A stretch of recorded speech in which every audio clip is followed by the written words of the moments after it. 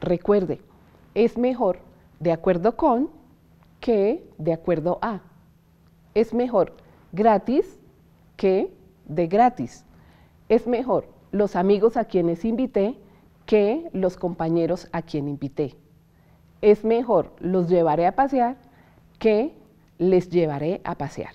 Otros errores comunes son uso excesivo de la conjunción y y de las palabras cuál o qué, repetición de palabras, falta de léxico, de claridad en el mensaje y de orden sintáctico, incurrir en contradicciones conceptuales, utilizar enunciados muy extensos, párrafos incoherentes o párrafos frase, uso equivocado de conectores, incoherencia en el número verbal, es decir, empezar la narración en singular y terminarla en plural, utilizar la expresión y raya o, en su reemplazo se sugiere usar la conjunción o, ya que ésta no excluye ningún término.